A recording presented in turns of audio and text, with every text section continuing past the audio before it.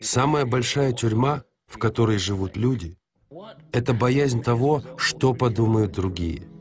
В результате всех насмешек, которые мне пришлось пережить, я смог преодолеть этот страх. Только после этого можно понять, в какой тюрьме ты до этого жил. Мне это позволило на личном опыте понять, как просто нескольким людям контролировать всех других. Достаточно просто диктовать общественные нормы, определять, что хорошо, а что плохо, морально и аморально, разумно и безумно, возможно и невозможно. Кроме того, нужно создать то, что я называю зоной без помех.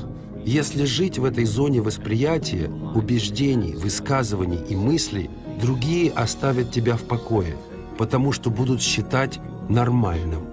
Но как только ты выйдешь за пределы этого загона и начнешь выражать свою уникальность, ты столкнешься с творением иллюминатов, населением Земли, работающим охранниками и набрасывающимися на тех, кто выходит за грани нормы.